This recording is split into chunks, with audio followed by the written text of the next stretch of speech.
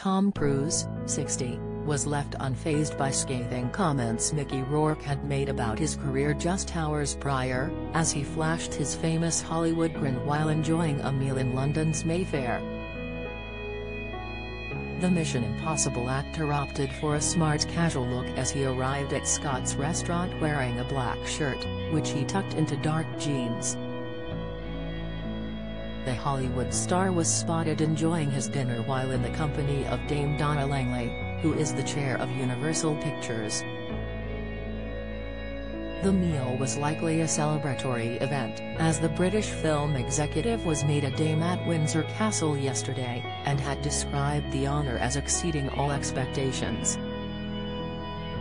His outing comes after the wrestler star Mickey, 69, didn't hold back as he spoke about Tom while featuring as a guest on Piers Morgan Uncensored on Monday. Mickey said, the guys, Tom, been doing the same effing part for 35 years. I got no respect for that.